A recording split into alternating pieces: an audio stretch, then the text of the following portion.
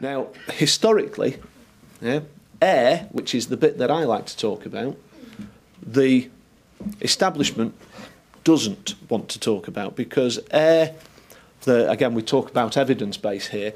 Um, historically, there has been no real evidence base promoted for air as a vector for the transmission of disease. However, when we look at some of the posters that are around now and some of these posters that were issued, what, 1940, 41, 42, that sort of environment, we say quite clearly, coughs and sneezes spread diseases. We know that. We're told that from the minute we sit on our mother's knee through to the, the day that we actually shuffle off the mortal coil.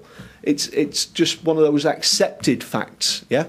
And when we look at the, the, advert, the, the, poster campaign that's being run at the moment, um, that shows the aerosolization. We've got this nice green cloud of droplet nuclei that's coming out of somebody's nasal passage or through the, the, the mouth, and, and we're telling them to catch it, bin it, and kill it, and, and all the, the good messaging that's coming out there.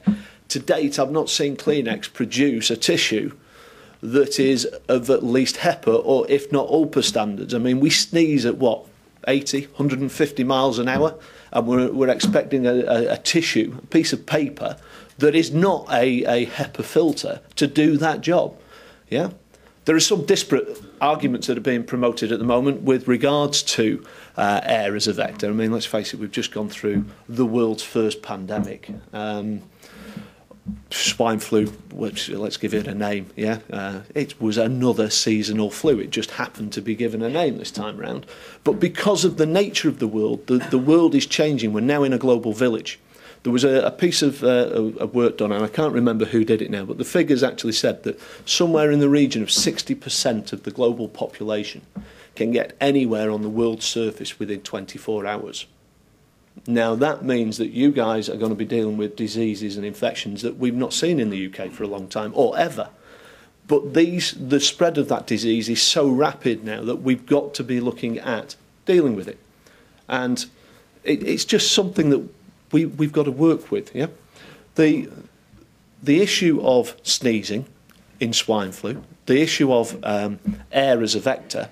Well, yes, uh, apparently, according to uh, the Department of Health, you can uh, become infected with influenza so long as you are within close personal contact. Now, that was defined as within two feet. Now, let's go back to this sneezing at between 80 and 150 miles an hour. I mean, it doesn't, if I sneeze now, it doesn't just stop here and fall out and you guys are all safe sat over there.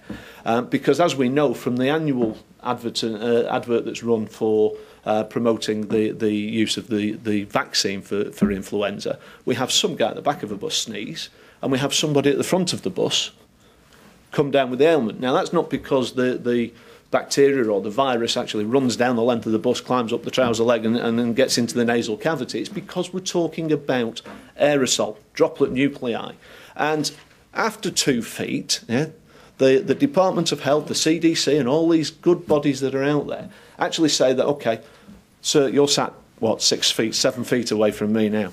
If you were to duck out the way and, and, um, and I was sneezing at you, all that droplet nuclei they'll accept would land on the chair and then it becomes a contact issue. But you can't breathe it in and become infected through a, a direct route of, of airborne transmission. So there, there are a lot of disparate uh, arguments here. One of the things that we all accept, or that you all accept in healthcare, is that we use things like laminar flow systems in, in operating theatres, in orthopaedic suites. Um, now, is that because we're looking at surgical site infections through, uh, say, a, a particulate uh, ending up in the in the the surgical site and then getting granulation and cell growth and, and all those bad things that can happen there? Or is it because that particulate carries bacterium and you get an infection? So if we accept that we need laminar flow systems in orthopaedic suites, why is that the only area in healthcare that we have issues with airborne infection? Why, when somebody presents with TB, do we now start looking at, again, isolation? I mean, TB was uh, eradicated in the UK, but we now know that we've got Y and J strain coming back in, and it's something that we have to deal with. So we isolate. With C. diff, we see some very successful outcomes uh, of management with using cohort nursing suites. Um, again, is that because we're isolating everyone just to give them the same treatment or because we need to manage the environment? And again, it comes back to the built environment and the environment that we're looking to control.